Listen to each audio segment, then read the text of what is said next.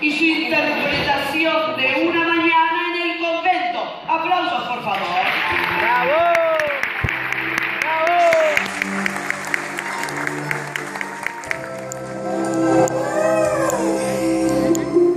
Siempre, cada mañana, yo me despierto.